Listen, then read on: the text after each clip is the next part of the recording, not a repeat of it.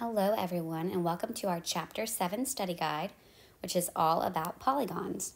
So, the first thing you're going to want to make sure that you know is these um, polygon angle sum formulas. So, we have our interior angle sum is n minus 2 times 180, our exterior angle sum is 360, and that is for all polygons, whether they're regular or irregular. If they're regular, then we have these two formulas where you can find the measure of each one. So one interior angle and then one exterior angle if it's regular.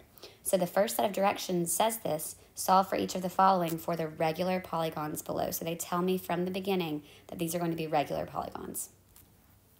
so you can see that we're finding all four things for all four of these shapes. Some of these are pictures, some of these are number gons, and then some of these are the actual words where you have to know how many sides are in it. So this first one we're going to just count it. We have one, two, three, four, five, six sides. So this is a hexagon. Um, it could say the word hexagon. It could have the picture. So just make sure you know that. And so in a hexagon, the sum of the interior angles is going to be 6 minus 2. Of course, that gives me the number of triangles in the shape if I were to draw it in. If you didn't remember the formula, you could always draw it in. That's going to be four triangles inside of this hexagon. So 4 times 180 gives me an interior angle sum of 720 degrees what is the sum of the exterior angles? Meaning, like if I were to put all of these, if all what would all these yellow ones add up to? All of these yellow ones, and no matter how many sides it has, would always, always, always have a sum of 360 degrees. So since it's regular, what can I do about finding the measure of each, or the measure of one, is I can take 720, and I can say that interior angle sum is going to be divided by 6. What is 720 divided by 6? That's going to give me 120 degrees since it's regular. Since it's regular, I can also find the measure of each exterior, the measure of one is another way to say that. And so we're going to take 360 and we're going to divide that by 6. And when you do that, you're going to get 60 degrees. And you're going to notice every time that the interior and the um, exterior angle, the measure of 1, should always be supplementary, meaning that if this was 120 on the inside, it makes sense that this is 60 on the outside because that forms a linear pair. That's always going to form a linear pair. So that's just a really good way to check yourself. All right, what about a heptagon? Well, we know that in a heptagon, that has seven sides.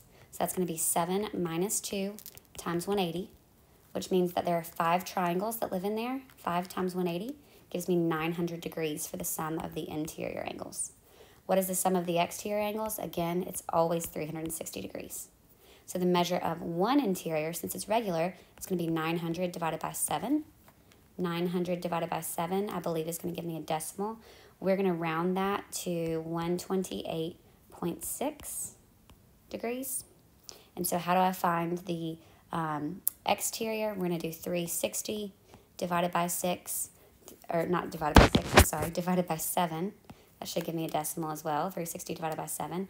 We're going to round that to about 51.4 degrees. And so again, these should be supplementary, and they are. 128.6 plus 51.4 would make a linear pair. All right, so let's go to the next one. Let me make sure I'm color coding this the same.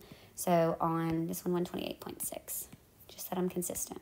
So the two, oh, 128.6, so the two green ones, that I'm writing in green should always be supplementary. The one interior and one exterior should make a linear pair. All right, decagon. A decagon has 10 sides. Think decade. Decade has 10 years. A decagon has 10 sides. So to figure out the number of triangles, you're going to do 10 minus 2, and then that's times 180. So it's going to be 8 triangles times 180 gives me 1440. 1,440 degrees would be my sum of the interior my sum of the exterior is 360 all the time, no matter how many sides it has. If we want to find one interior angle, since it's regular, I'm going to take 1440 and I'm going to divide that by 10. We don't even have to type that one in. We know that that's 144 degrees. So one exterior is going to be, uh, let's see, 144. One exterior is going to be 360 divided by 10, and that is going to give me 36 degrees. So 144 and 36 are supplementary. All right, what about a 30gon? Well, we know in a 30gon the number of sides is equal to 30. So to figure out the number of triangles, that's going to be 30 minus 2 times 180 for my interior angle sum. 28 times 180 is going to give me 5,040. So a big number for the interior angle sum. Sum of my exterior remains the same, 360. All right, so how do I find my sum of, or the one interior angle? I take my sum, which was 50, 40, and I divide that by the number of sides, which is 30. So 5,040 divided by 30 interior angles each would give me a um, one interior angle of 168 degrees. To find the exterior, the measure of one exterior, 360 divided by 30. 360 divided by 30 is, in fact, going to give me 12 degrees. So again, these are supplementary like I expected them to be. So make sure you know those formulas for that top section.